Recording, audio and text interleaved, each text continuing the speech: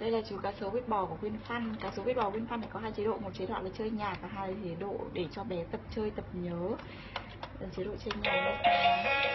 Đấy, khi bật nhạc lên thì chú cá sấu sẽ chạy và có tiếng nhạc gọi là tiếng nhạc khởi động. Và khi chúng ta ấn vào từng nút này thì sẽ có từng bài hát khác nhau. Như thế. Cá sấu sẽ bò theo từng bài hát. Và khi cá sấu bò thì mồm cá sấu còn cử động như là một chú cá sấu thật. Đuôi thì vẫy Bài thứ hai Mỗi nút nhạc sẽ là tương ứng với một bài hát khác nhau.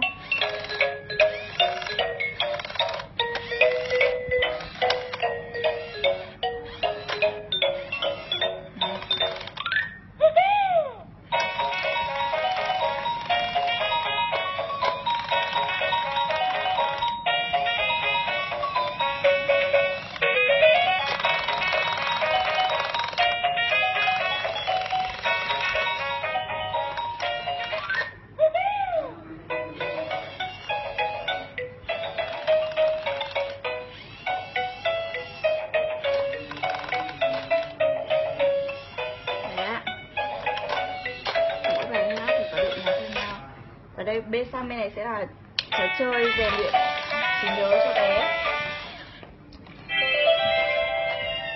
Trò chơi này như sau, khi mà đèn sáng ở nút nào thì bé sẽ nhớ và ấn theo đúng, theo như nhớ thế. Và khi đúng thì sẽ có tiếng vỗ tay tán thưởng. Và sẽ có các mức level từ level 1 đến level 3 và khi ấn sai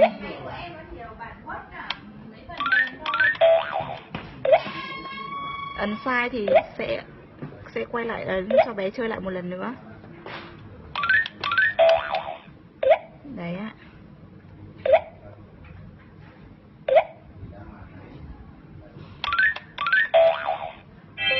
Sẽ chơi lại ba lần, nếu mà bé không, vẫn không ấn đúng thì trò chơi sẽ lại bắt đầu lại từ đầu, là ở mức level 2 đấy ạ khi đúng thì sẽ có tán thưởng.